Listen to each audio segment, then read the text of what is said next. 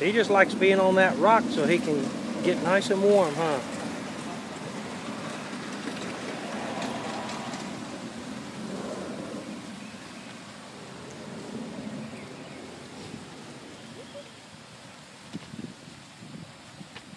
That's a big one, isn't it? Uh-huh. No, don't get too close. What do you think?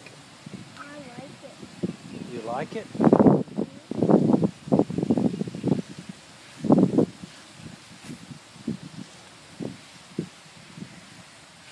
I'm videoing Declan and his iguana. I love iguana. You love iguana?